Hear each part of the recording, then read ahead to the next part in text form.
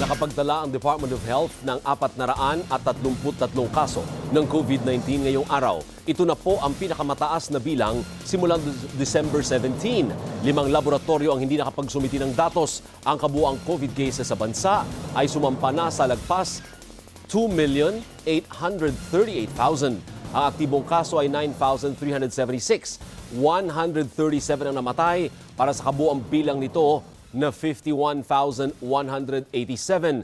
369 ang gumaling para sa total recoveries na 2,777,818.